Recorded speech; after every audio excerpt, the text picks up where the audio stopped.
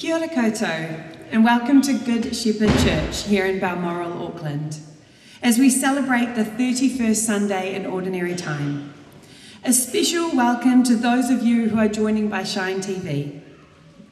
The presider at this Mass is our parish priest, Monsignor Bernard Kiely. Let us now stand and sing together our opening hymn, Sing a New Song.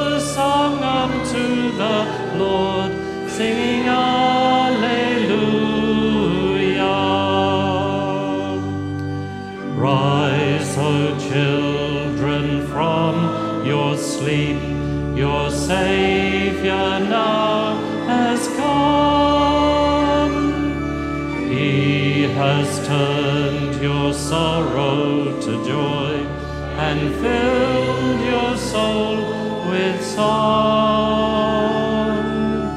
Sing a new song unto the Lord. Let your song be sung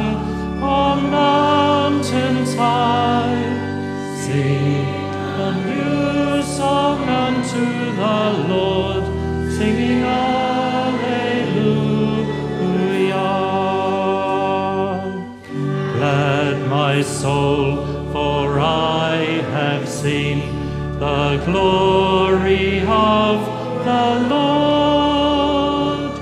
The trumpet sounds, the dead shall be raised. I know my Savior lives. Sing a new song unto the Lord. Let your song be sung from mountains high. Sing a new song unto the Lord, singing Alleluia.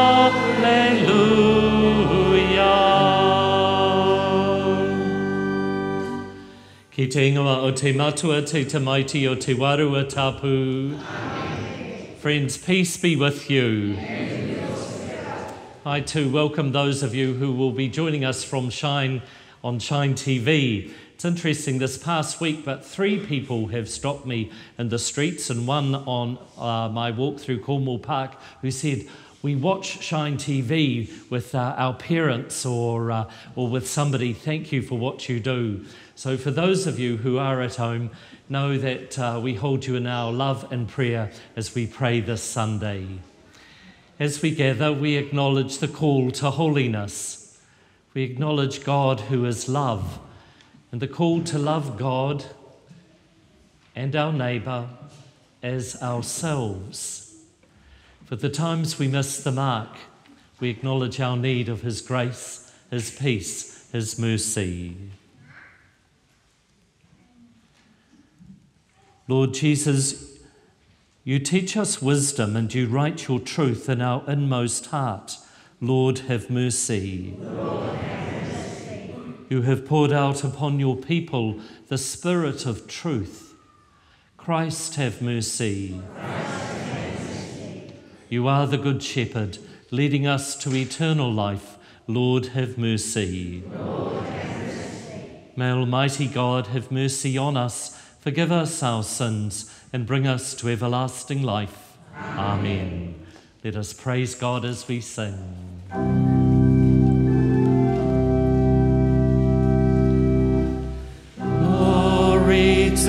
In the highest, and on earth peace to people of good will. We praise you, we bless you, we adore you, we glorify you.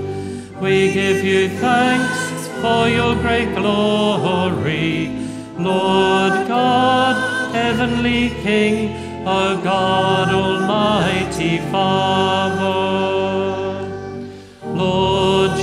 Jesus Christ, only begotten Son, Lord God, Lamb of God, Son of the Father, you take away the sins of the world. Have mercy on us. You take away the sins of the world. Receive our prayer.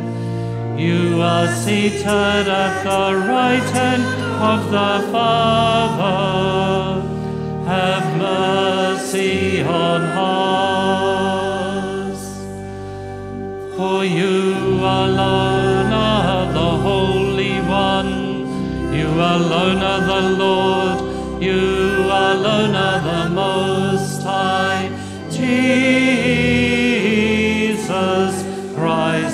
with the Holy Spirit, in the glory of God the Father. Amen.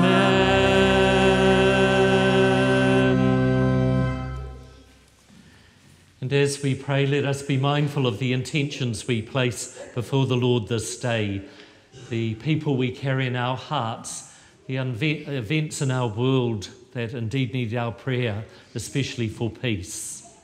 Let us pray.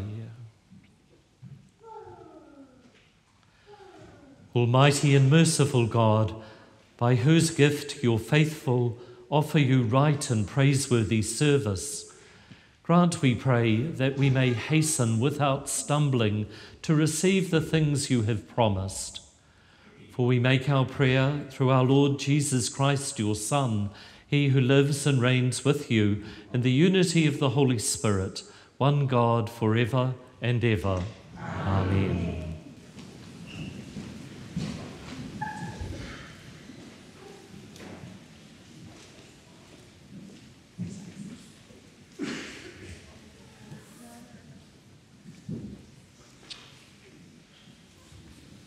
Reading from the book of Deuteronomy. Moses spoke to the people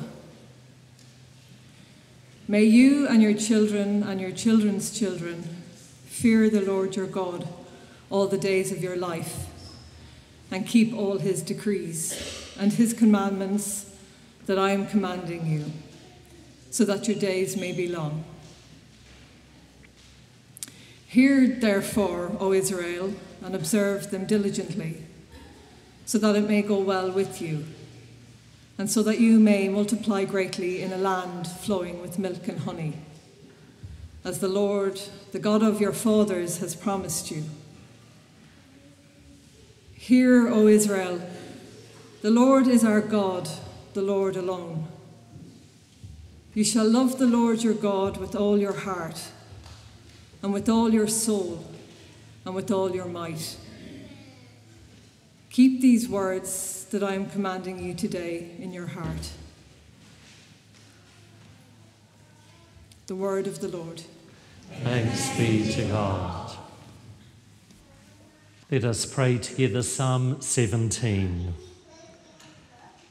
I love you, Lord, my strength, my rock, my fortress, my Saviour. My God is the rock where I take refuge, my shield, my mighty help, my stronghold. The Lord is worthy of all praise. When I call, I am saved from my foes. Long life to the Lord, my rock. Praise be to the God who saves me.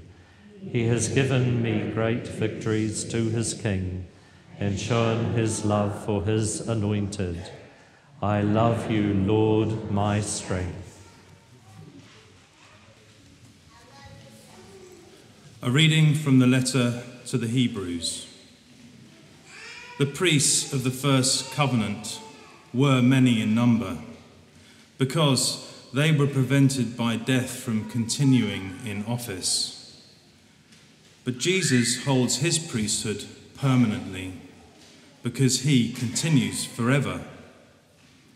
Consequently, he is able for all time to save those who approach God through him, since he always lives to make intercession for them. For it was fitting that we should have such a high priest, holy, blameless, undefiled, separated from sinners, and exalted above the heavens. Unlike the other high priests, he has no need to offer sacrifices day after day, first for his own sins and then for those of the people. This he did once for all when he offered himself. For the law appoints as high priests those who are subject to weakness, but the word of the oath, which came later than the law, appoints a son who has been made perfect forever. The word of the Lord. Thanks be to God.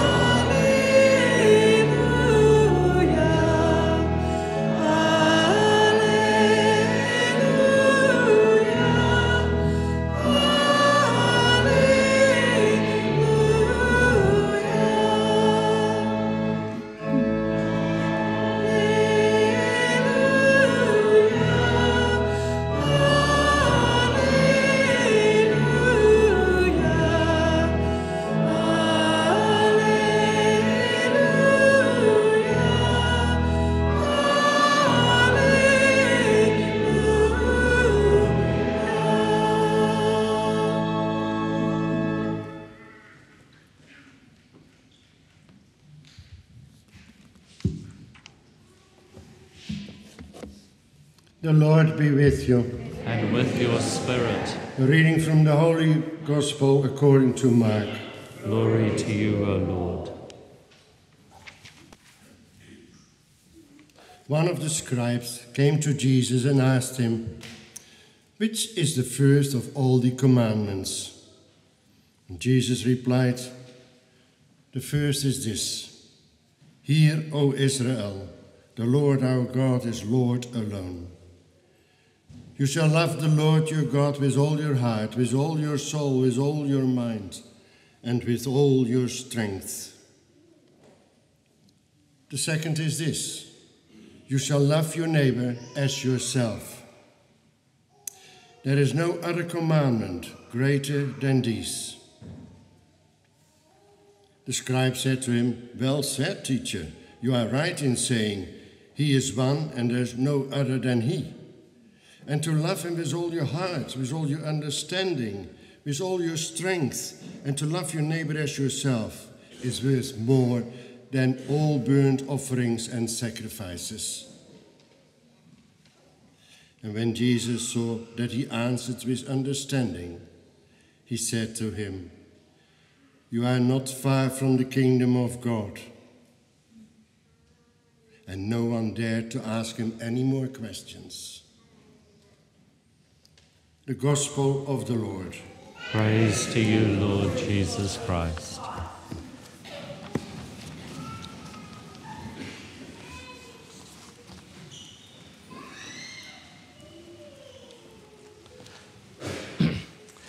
I've commented before, but isn't it significant that God gave us one mouth and two ears? What's He saying to us about how He has created us? One of the most important words in the liturgy today, particularly the readings, is listen. And I was very intrigued as two and a bit year old uh, Thomas in the front row repeated us uh, as, we respond, as we responded to the first reading with the psalm I love you, Lord, with all my strength. And he said it after all, we'd all finished. And I thought, good on you, Thomas, listening. Good boy. Isn't it amazing how we pass the faith on? It's absorbed. In the uh, readings today, uh, we hear the Shema presented to us. It's a very ancient Hebrew prayer that in uh, some uh, Jewish circles is prayed three times a day, a little like the Angelus. I will love the Lord my God with all my heart, with all my soul, with all my being, with all my strength. That's how uh, they uh, weave spirituality into the day. Just every now and then, just stopping and saying, God, you are with us. We praise you. Do not abandon me. Grace me always. In the gospel, we have uh, someone come up to Jesus and say, What is the greatest of the laws? And he quotes this, but he also combines it with another law, bringing the two together that you shall love the Lord your God with all your heart, with all your mind, with all your strength, with all your soul, and you shall love others as you love yourself. And it's interesting that these three dimensions love of God, love of others, and love of self are all connected. Because if one of the strands or the relationships is somehow stressed or broken, it must affect the others. So if you've just had a God Almighty row in the car park and got into the church steaming, and remember, I come from a family of six kids, so there would be eight of us. I often would wonder how did mum and dad still have faith some days? But you're sitting there steaming. Part of what we do at the beginning of Mass is, Lord, have mercy on me. As we try somehow, honestly, bring everything every dimension of our lives and place it before the Lord, especially our strained relationships and broken ones. If we're on the receiving end of, uh, of comments that aren't particularly nice, when we look in the mirror in the morning, we can sometimes uh, think, oh, that's touched me, it's hurt me deeply. So, again, part of what we're called to reflect on today, I guess, is this holistic approach to spirituality that doesn't compartmentalize God to up there or here, what we do at church, but is a part of every breath that we, that we take, every relationship we're involved in, whether or not it's at the supermarket counter or overtaking uh, on the motorway or sitting here in church. We are here for and with each other. I uh, often invite you to pray for those alongside you or in front of you or behind you because you never know what people are going through. And on a Sunday, as we gather as a family, I'm often thankful for the prayers that we pray communally as brothers and sisters before the Lord. I know I'm not on my own, we are family. So, again, think about those around you. Don't just be here for yourself but uh, be here for each other. As we uh, think about the readings too, we might uh, acknowledge that word, that command listen, hear, O Israel. And we might think about the routines of our lives and how we fill them. Because although technology is a great gift, a huge gift, how many of us are sort of kind of nearly, maybe, perhaps addicted to picking up the phone and scrolling. How tempting it is to, um, to plug into the technologies of today in our free time. And if there's one thing about what we do on a Sunday, is that we take time out. And hopefully, none of you are on Facebook or Instagram at the moment, but rather you're present and if you're dreaming about uh, what's happening in your life or, uh, or what, you know, what's for lunch or what's happening this week, that's fine because we bring it all as family before God. And we allow this time to stop and listen. The challenge is to try and do it daily, to try and take some time, and I know it's a huge challenge for families or if you're under pressure at work just to go for a walk and say, This 15 minutes, Lord, is for you. To turn your phone on and your timer on and just sit in silence for 10 minutes just see what we can do so that we might listen to what the voice of God might be saying to us here, now, but also in our daily lives. What's the beauty of creation saying to us as spring unfolds? What's in our hearts as we reflect on it? Hopefully, gratitude. The uh, Synod of Bishops has just recently finished in Rome, and uh, Pope Francis called together a rather unique Synod of Bishops that included a cross section of the church, men and women, clergy, religious, lay people, young and old and he has invoked a process of listening, which is quite countercultural when you think about what's happening, especially politically in the world, to say uh, nothing of those regions of the world that are under a constant threat of warfare and aggression. But Pope Francis has gathered this group of, of people in Rome to listen.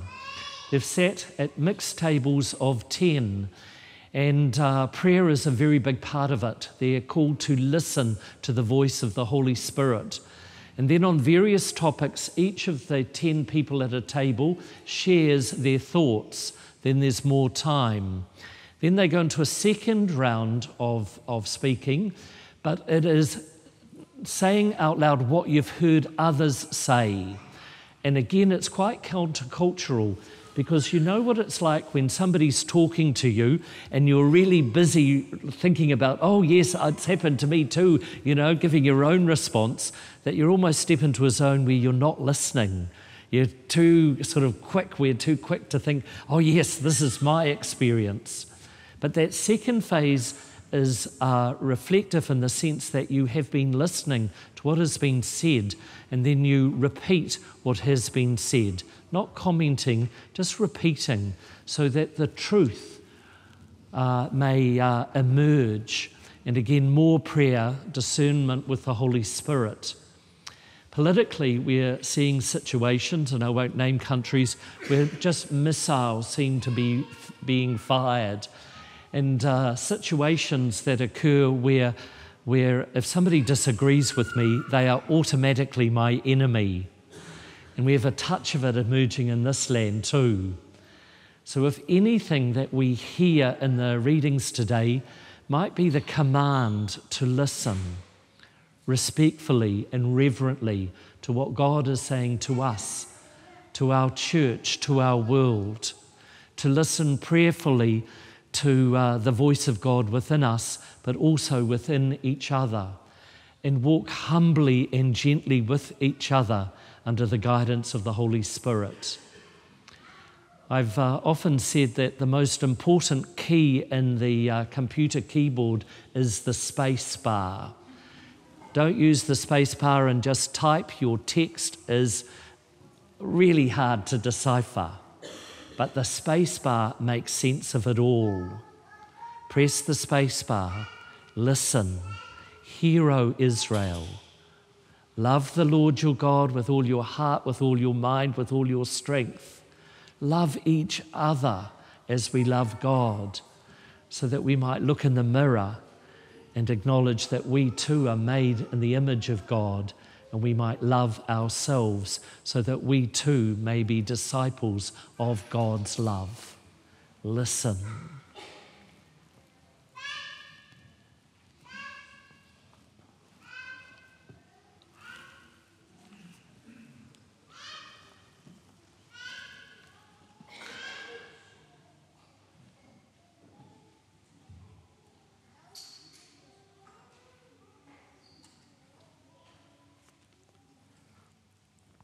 Let us stand and profess our faith. I believe in God, the Father Almighty, creator of heaven and earth, and in Jesus Christ, his only Son, our Lord, who was conceived by the Holy Spirit, born of the Virgin Mary, suffered under Pontius Pilate, was crucified, died, and was buried. He descended into hell. On the third day, he rose again from the dead. He ascended into heaven and is seated at the right hand of God, the Father Almighty. From there he will come to judge the living and the dead. I believe in the Holy Spirit, the Holy Catholic Church, the communion of saints, the forgiveness of sins, the resurrection of the body, and life everlasting. Amen. Let us place our prayers before the Lord. Let us pray that we may have the courage and conviction to love the Lord our God with all our heart and soul, with all our mind and strength, and our neighbours as we love ourselves. Lord, hear us. Lord, hear our prayer. Let us pray that we may take time out to listen for the voice of God speaking to us in our lives. Lord, hear us. Lord, hear our prayer. Let us pray for Pope Francis and all who have gathered in Rome for the recent synod. May the Holy Spirit be at work in their midst. Lord, hear us. Lord, hear our prayer. Let us pray for peace in our world. We pray for all the millions of innocent people who are affected by war, especially in the nations of the Middle East and Ukraine and Russia. Lord, hear us. Lord, hear our prayer. Let us pray for those who struggle to make ends meet in our city. May we be generous in our support of those in need. Lord, hear us. Lord, hear our prayer. We pray for all who are looking for work. May they be successful in their endeavours to find meaningful employment. Lord, hear us. Lord, hear our prayer. We pray for those who have lost loved ones recently. May they know support, healing, and love in difficult days. For those who have died, may they know the peace in God's sacred keeping. Lord, hear us. Lord, hear our prayer. O God, we place our prayers before you, spoken and unspoken. In your wisdom and great love, hear and answer them through Christ our Lord. Amen.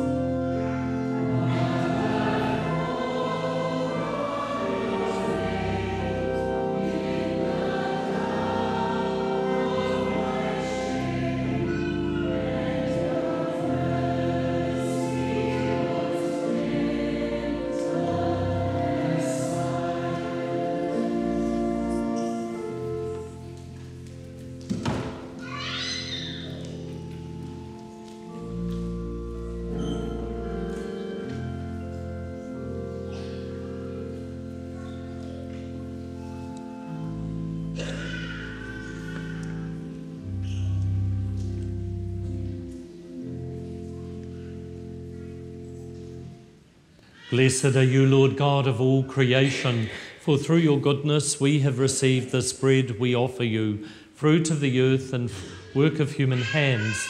May it become for us the bread of life. Blessed be God forever. Blessed are you, Lord God of all creation, for through your goodness we have received this wine we offer you, fruit of the vine and work of human hands. May it become for us our spiritual drink. Blessed be God forever.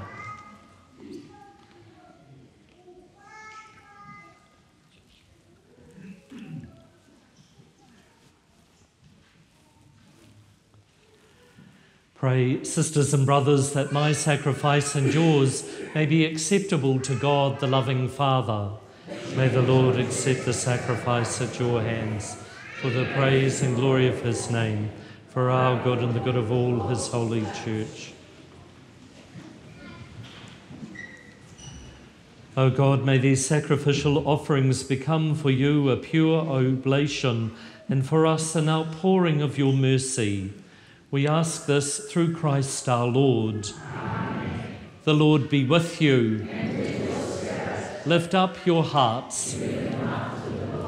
Let us give thanks to the Lord our God. It is truly right and just, our duty and our salvation, always and everywhere, to give you thanks, Lord, Holy Father, Lord of heaven and earth, through Christ our Lord. For by your word you created the world, and you govern all things in harmony. You gave us the same word made flesh as mediator, and he has spoken your words to us and called us to follow him. For he is the way that leads us to you the truth that sets us free, the life that fills us with gladness. Through your Son, you gather men and women whom you made for the glory of your name into one family, redeemed by the blood of the cross and signed with the seal of the Spirit. Therefore, now and for ages unending, with all the angels we proclaim your glory, as in joyful celebration we acclaim.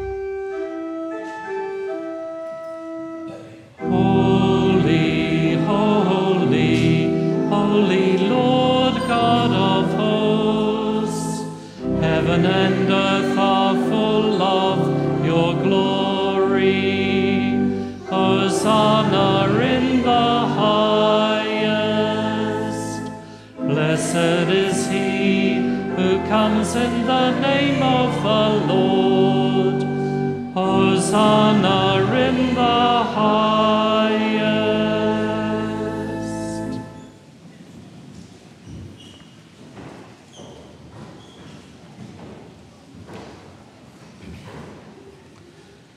You are indeed holy, O Lord, the fount of all holiness. Make holy, therefore, these gifts, we pray, by sending down your Spirit upon them like the dew fall, so that they may become for us the body and blood of our Lord Jesus Christ. At the time he was betrayed and entered willingly into his passion, he took bread and giving thanks, broke it. He gave it to his disciples and said, Take this, all of you, and eat of it, for this is my body, which will be given up for you.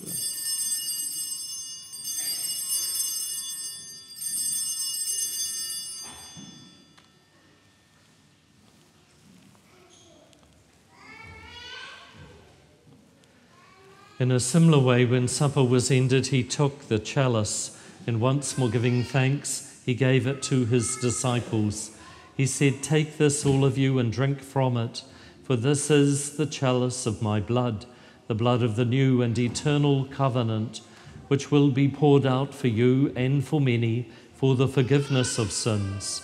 Do this in memory of me.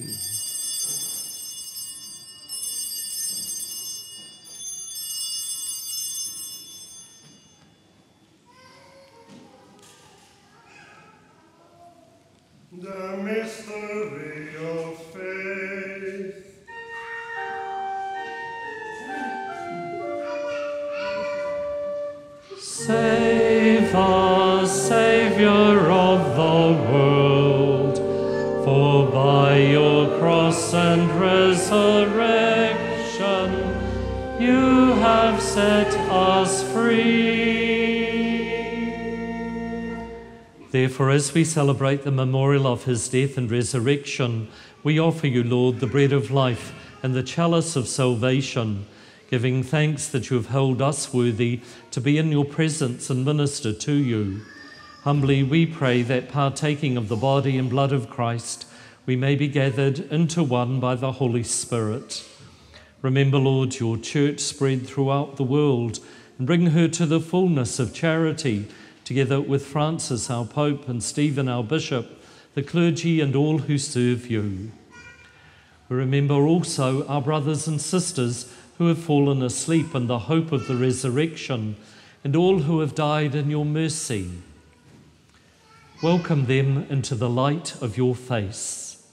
Have mercy on us all, we pray, that with the Blessed Virgin Mary, Mother of God, with blessed Joseph, her spouse, with the blessed apostles and all the saints who have pleased you throughout the ages, that we may merit to be co heirs to eternal life and may praise and glorify you through your Son, Jesus Christ.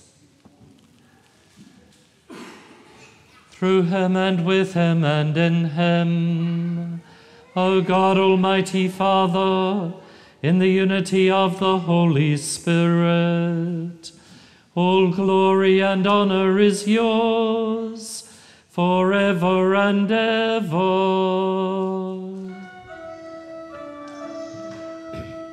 command ah.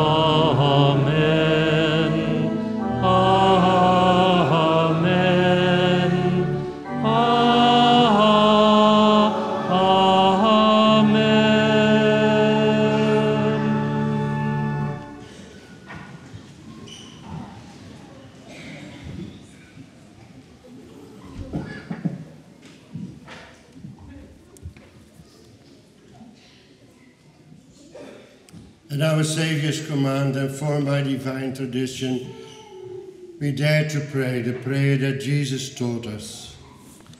Our Father, who art in heaven, hallowed be thy name.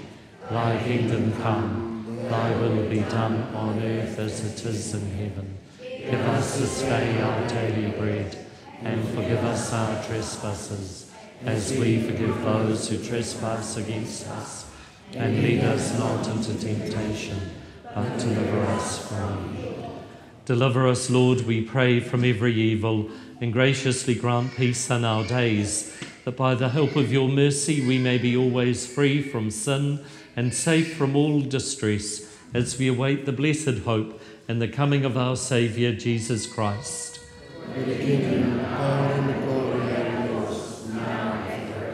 Lord Jesus Christ, you said to your apostles, Peace I leave you, my peace I give you.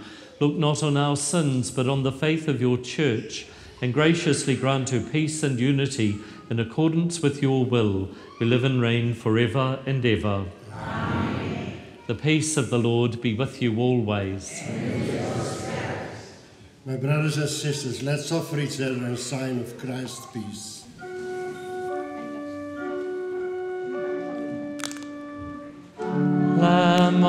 God, you take away the sins of the world, have mercy on us.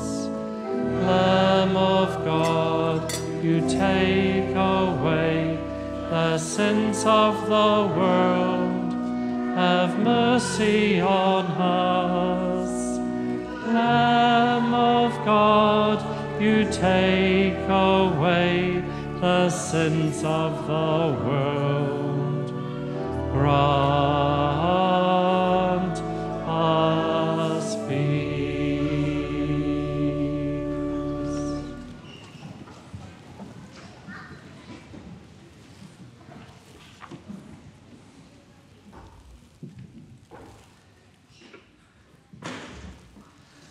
Love the Lord your God with all your heart, with all your soul with all your strength.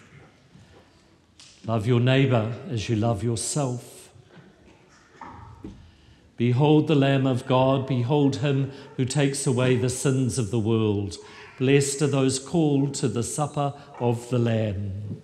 Lord, I am not worthy that you should enter under my roof, but only say the word, my soul shall be healed.